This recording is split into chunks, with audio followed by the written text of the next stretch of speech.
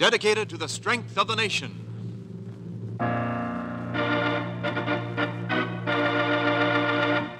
Proudly we hail.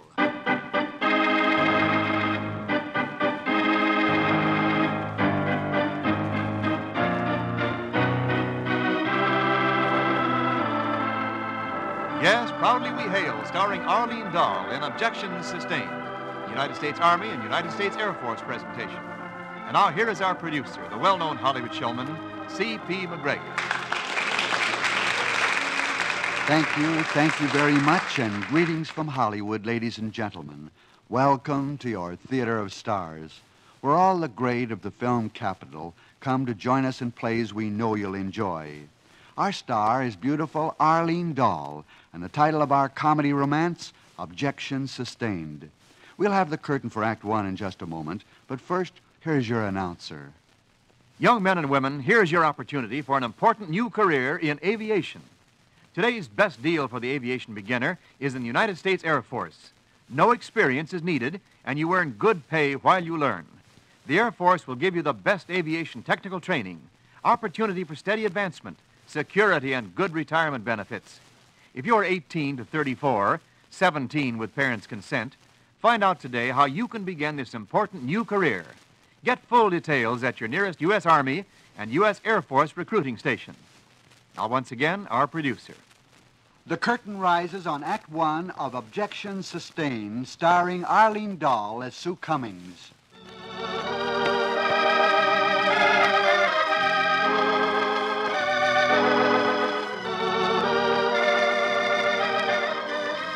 And now to our play. As our scene opens, Nurse Sue Cummings and her friend Peggy are driving to the Littleton Hospital. Sue accepts this daily ride rather reluctantly, for Peggy isn't what you'd call a good driver.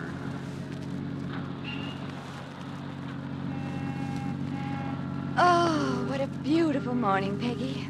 Hardly a day for work. Yes, Sue. We ought to call the hospital and tell them we can't make it. Hmm. And then go swimming. Oh, that would be fun. Oh, the duty calls. Oh, yeah. Oh, Peggy. Hmm. Peggy, here's where you turn. Oh, oh, sure. Oh. Oh, hospital, here we come. Oh! Oh, oh, Peggy, what was that? Oh, Sue. Why do you scream so? In this town, you don't scream till you hear the crash. But, but that man in back, why, he almost hit us. Well, I stuck out my hand. Didn't he see it? He must have. Thank goodness. Eh, this is as good as a mile, I always say. Yes, Peggy, that's what you always say. Well, I...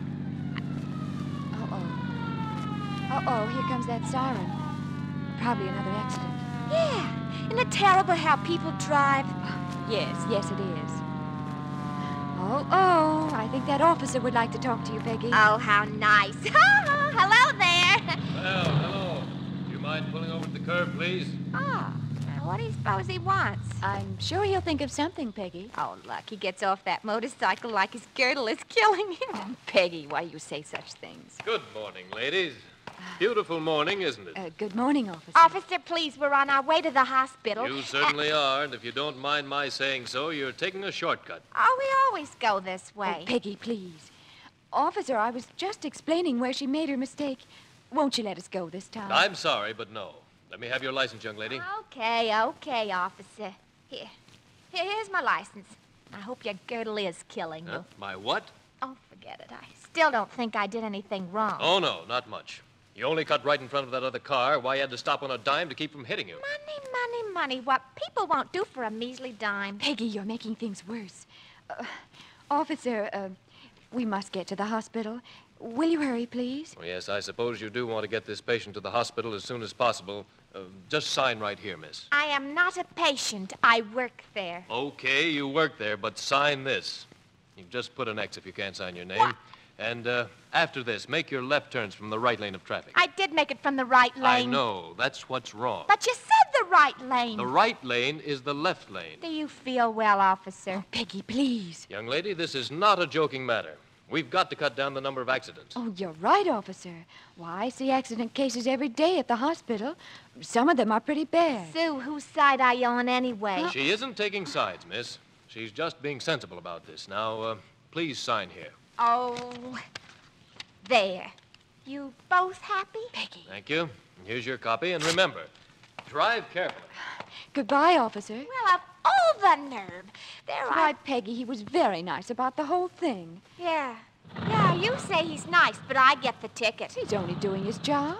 He was courteous, gentlemanly, and... And you think he's handsome? Yes. Well, he wasn't bad at that, but so who cares? Oh, Sue! Sue, would you look at that? He ran right into that car. Well, come on, let's go. We may be hurt. And he said I might have an accident. Peggy, oh, that car that's turned right in front of him. I saw it. Oh, he isn't hurt, Sue. He's sitting up. You can never tell. He looks a little dazed. Oh. oh, officer, are you hurt? Oh, you are hurt. No, no, it's just my leg. Hurts a little. You know, I feel a bit foolish. Talking about other people having accidents, and then, then I have one. Oh, it wasn't your fault. Peggy, go phone for the ambulance. I'm sorry, officer. I didn't see you. No, I guess you didn't. Don't you know how to make a left turn either? Why, I decided to turn all of a sudden, and there you were. Uh, how unfortunate. But it is fortunate that I didn't break an arm. I'll just write you out a ticket for that bum left turn. He must have landed on his head, Sue. He's still saying that. Peggy, please. Go phone for the ambulance, will you? Oh, just a moment, young lady. This accident is a good example of what I was trying to tell you. Now, do you see why I gave you that ticket? Oh, officer, you didn't do this just for me, did you? Now, Olivia, will you please phone for that ambulance? My name isn't Olivia, it's Peggy. To me, you'll always be Olivia. And when we get to the hospital, I'll try to arrange for more shock treatments for you.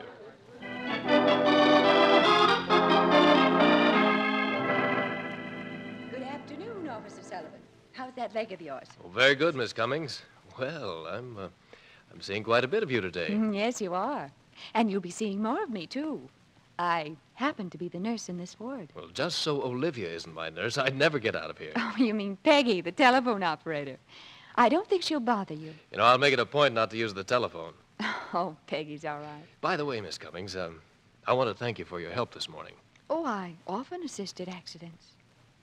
You know, when you stopped us this morning, I had no idea you'd be my patient this afternoon. Well, I hadn't planned on being here, I assure you. Well, the doctor's report doesn't look too bad. You won't be here long. Oh, what does the report say? It says, um, Bob Sullivan, age 26, marital status, single. That I know, but uh, what about my leg? How long will I be here? Oh, your leg isn't too bad. Three weeks, maybe a month. Oh, I'll be out in two weeks. You can't be that eager to get back on that motorcycle. No, Miss Cummings, but, uh, well, you see, I'm taking a bar exam in three weeks, and I'd like to be out by then. I can't miss it. A bar exam? Oh, you're going to be a lawyer, Mr. Sullivan. How wonderful. Yeah, yeah, that's, uh, that's what I went to college for. But, well, you see, I still have some studying to do, and I need my books. Oh, we'll arrange to get your books, Mr. Sullivan. Well, if you'll just get me a phone, I'll call my hotel, and they'll be glad to bring them over to me. Think you can get by, Olivia? Oh, Olivia. Say, how would you like some help in your studies? you, Miss Cummings? Do you know anything about law? No. No, but my dad does. He's a lawyer, or he was. He's retired now. You've heard of George Cummings. George Cummings. George Cummings is your father?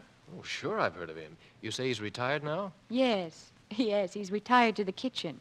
He can't find anything to occupy his mind, so he, he sometimes takes over Mother's job as family cook. The family cook. How's the food? Well, I won't answer that directly. I'm just glad I work at a hospital where doctors are handy. Oh, it couldn't be that bad. Maybe not. You know, I just thought of a brilliant idea. Really? Would you like Dad to help you with your exam? Say, I could use some help. You, do you think he'd mind? Ah, you leave that to me, and I'll see you tomorrow.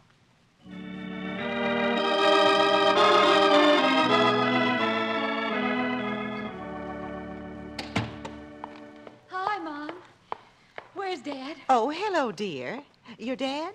He's in the kitchen, puttering around. Oh, not again. What is it this time? He says it's going to be a lemon sponge cake. Well, just so it isn't tamales. Daddy, Uh, yes, dear. What is it? Dad, uh, how would you like to help a young fellow pass a bar exam? One bar baking, uh, uh, one teaspoon of baking powder. I might try, Sue. One cup of sugar. Dad, are you listening? Oh, sure, yeah, sure. Will you help him? Ah, sure, sure. One teaspoon of lemon extract. Uh, uh, who is he? He's a police officer, and, and he's studying to be a lawyer. Lawyer? Four eggs separated. Separate four lawyers. Oh, Uh, Daddy, I've heard that one before.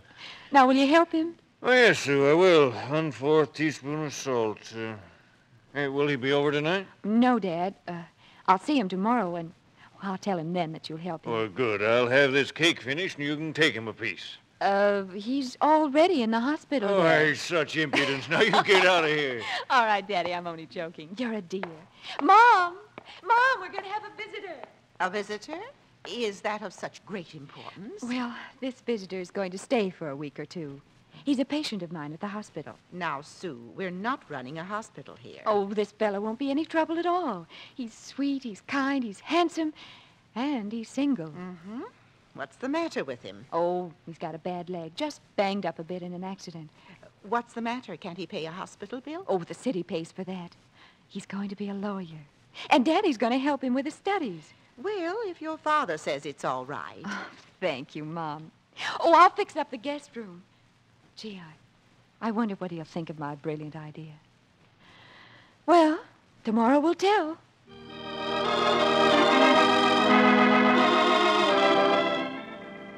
Good morning, Sue. Good morning. I was wondering when my nurse would get here. Say, why all the smiles? I fixed everything, Bob.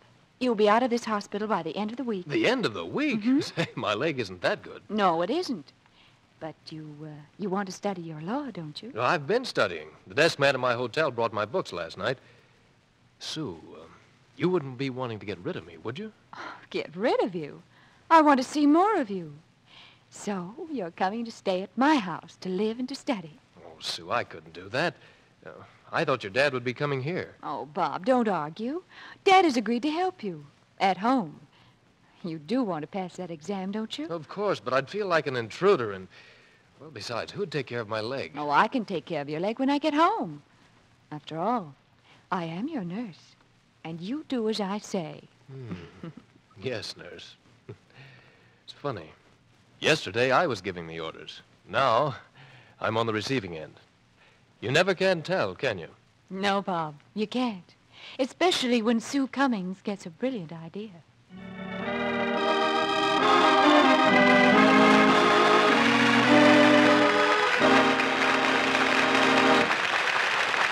We pause briefly from our story, Objection Sustained, starring Arlene Dahl, to bring you an important message from our government. High school graduates, for a job with a real future, get into aviation now. United States Air Force offers you unlimited career opportunities. Under the new Airman Career Program, you'll be trained in the job for which you are best suited and have the best chance for success. You'll get good pay right from the start, free room and board, free clothing and equipment, free medical and dental care, free retirement plan. This is your big opportunity. Look into it today. Get full details at your nearest U.S. Army and U.S. Air Force recruiting station.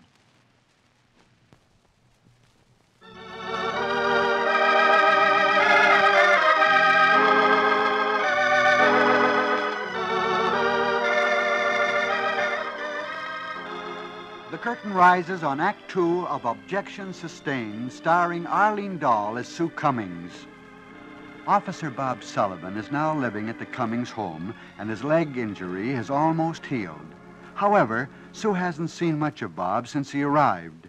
Mr. Cummings, besides preparing Bob for his bar examinations, has forsaken the kitchen for the great outdoors. In fact, the two are very seldom at home. Sue is beginning to think her brilliant idea was not so good after all. She is just returning from the hospital. Hi, Mom. How's our patient today? Patient? Oh, Bob, he's fine. Mm, well, where are they today? Oh, they're around this morning, but I don't know where they are now. Is Daddy helping Bob with his law, or are they just playing? Oh, they're always talking law, of course. I don't see much of them. You too? Yesterday it was swimming. The day before it was bowling. The day before that it was golf. How does Bob expect his leg to get better? His leg is almost well. I think you're going to lose a patient. Hmm. I don't mind losing a patient, but I do mind losing Bob. He hasn't left yet, Sue. Ah, it would be all the same if he wasn't here. I never see him. You see Bob every morning. You're still the only one nursing him. Every morning. Well, he's so sleepy in the morning he doesn't even know I'm around. Well, speaking of the... It's about time they got home. Now, Sue, dear, it was your idea that Bob come here. Your dad is helping him, and, and he's still your patient. You've no reason to be angry. Hello, Sue. Look, your patient walks without a limp. Hello, Bob. It's nice to see you again. It's been a long time. Oh, hello, Sue. Hey, your dad's right in form. Took this young whippersnapper four out of five games today.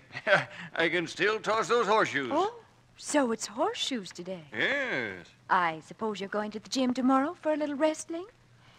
How's your leg, Bob? Can't feel a thing. Uh, Sue, how about you and me taking in a movie tonight? Oh, I'd love it.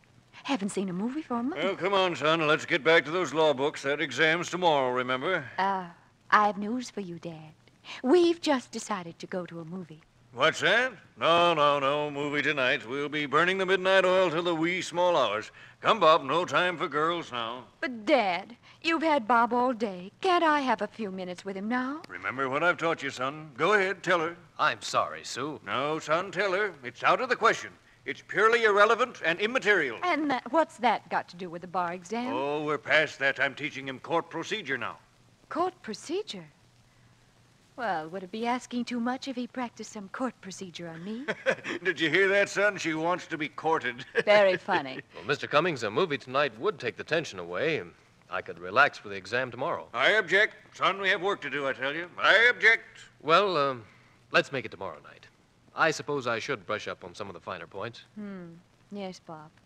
I could use a brush, too. What was that, Sue? Oh, nothing. Nothing at all.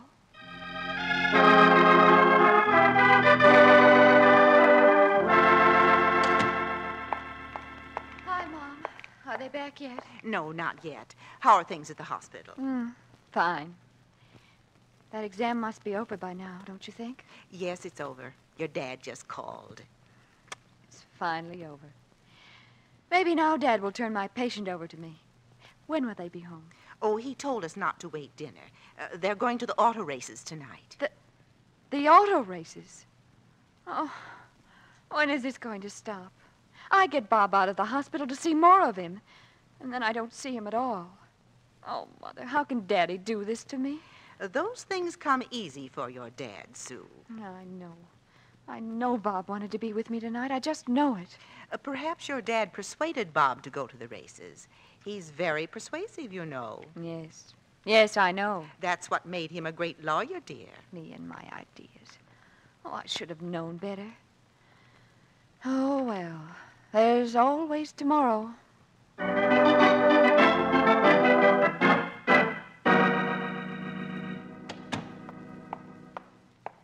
Mother. Hello, dear. I'm home again. And with the usual silly question. Where are they today? My, you look tired. You didn't answer me. Oh, they'll be home soon. They went to the baseball game uh, to celebrate Bob's success. Bob's success? Did he pass the exam? Oh, your dad is very proud of Bob. He was one of the top five. Isn't that nice, dear? Mm, Yes, Mother. Hooray. Why, Sue, you don't seem excited at all. I said hooray. Well, the Playboys have arrived. They have? Oh, I must get busy. Sue, help me with the table. Dinner's almost ready. In a minute, Mother. First, I have to serve an eviction notice. An eviction notice? Mhm. Sue, what's wrong? Wrong? What has been right? Hello, Sue, darling. Did you hear the good news? I passed the exam. Yes, I heard. Congratulations. Honey, I don't know how to thank you for all you've done. Introducing me to your dad, encouraging me, and helping my leg along. Sue, you've been wonderful. Yes, yes, just wonderful. Sue, what's the matter?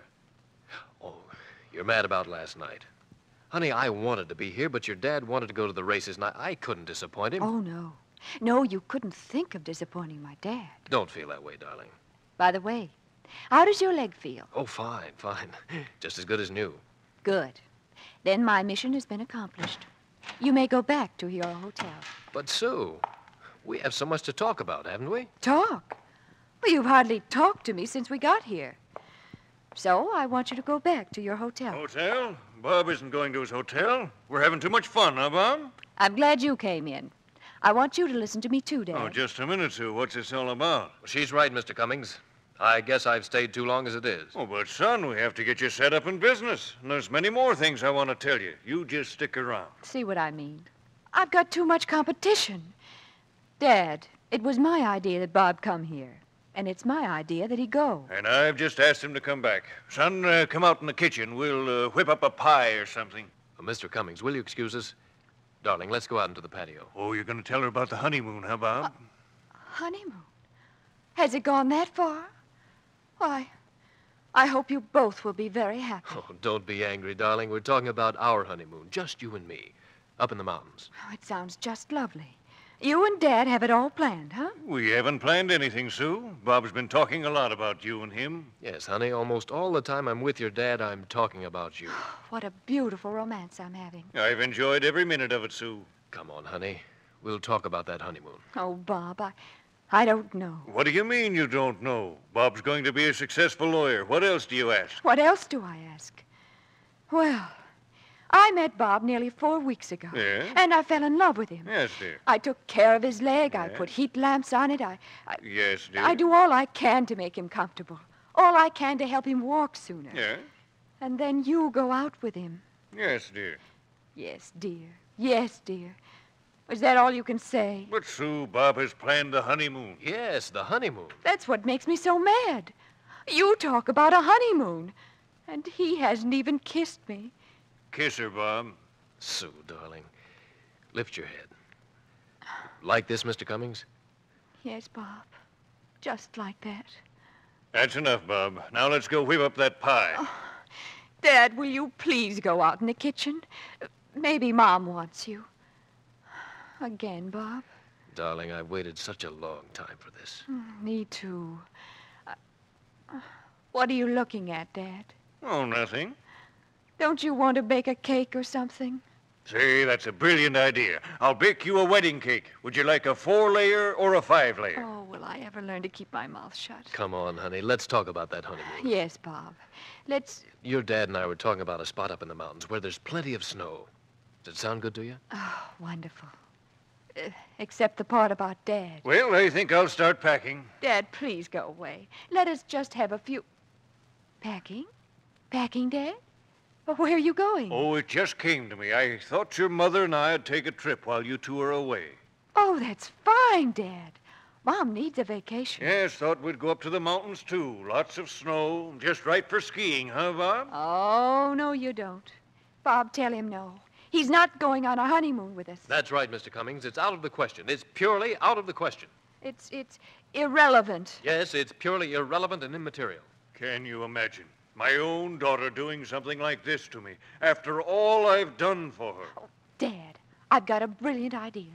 You go ahead and make reservations at the lodge. Now you're talking. Four reservations coming up. Uh, No, Dad, just two reservations. But you just said that. Yes, yes, for you and Mother. Bob and I are spending our honeymoon right here. You and Mom go up to the snow. I object. I absolutely object. I'm sorry, Mr. Cummings. Objections overruled. That's my lawyer. Yes, we're so sorry, Mr. Cummings, and the overruling of that objection is sustained.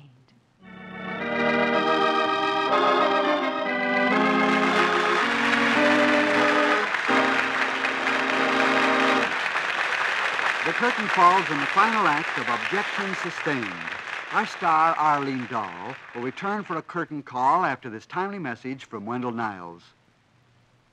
High school graduates, there's an important place for you in the U.S. Air Force. You can continue your education, learn a trade, get ahead, and at the same time earn good pay.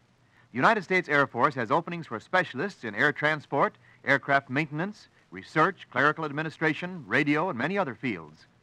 The Air Force will train you for one of these responsible jobs. Two kinds of training are open to you. You can learn on the job under the world's most skilled experts, or if you qualify, you can go to the finest Air Force technical schools as vacancies exist. You'll find interesting work, job security, good retirement benefits, and opportunity for travel. This is your big opportunity. Look into it today. Get full details at your nearest Air Force base or United States Army and United States Air Force recruiting station. Now, once again at the microphone, our star and our producer. Arlene, it's good to have you back with us again. Thank you, CP. I always like coming back to your theater.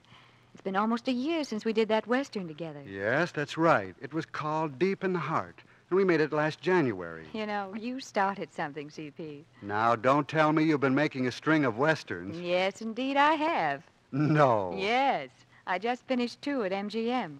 The first one is called Ambush, in which I co star with Robert Taylor and John Hodiak. That should be a good one. And now, what's the other one? Well, the other one is called The Outriders. And I made this with Joel McCrea. How do you like making westerns? Oh, I love them. Wonderful. I see you're doing that musical we talked about last time. Yes, Three Little Words with Fred Astaire, Red Skelton, and Vera Ellen.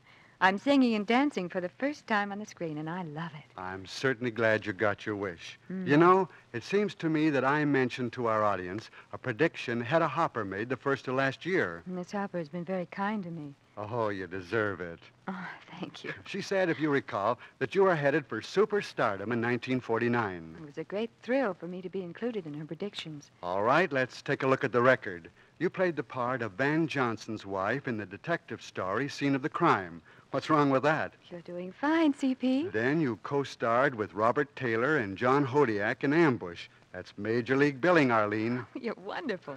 Not to mention the picture with Joel McCrea. Yes, The Outriders. 1949 was certainly a fine year for me. I'm so grateful to everyone. Well, Arlene, let me be among the first to wish you everything good for this year. Oh, thank you. But let's talk about you, CP. What are you doing here next week? Next week, Arlene and ladies and gentlemen, Virginia Grey will star in a romantic and poignant drama titled The Outward Voyage. Oh, I'll be I'll be glued to my radio. Goodbye, CP. Thanks. Goodbye, Arlene. Be sure to join us next week, ladies and gentlemen, when the brilliant dramatic actress Virginia Grey joins us to star in a vividly romantic story, The Outward Voyage. Until then, thanks for listening, and cheerio from Hollywood.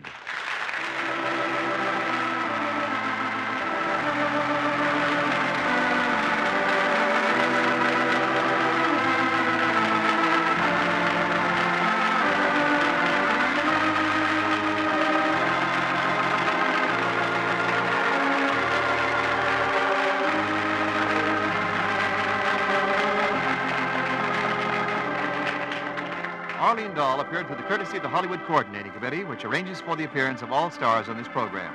The Script was by Russ Kelly, with the music of Eddie Dunstedter. This program is transcribed in Hollywood for release at this time. Wendell Niles speaking.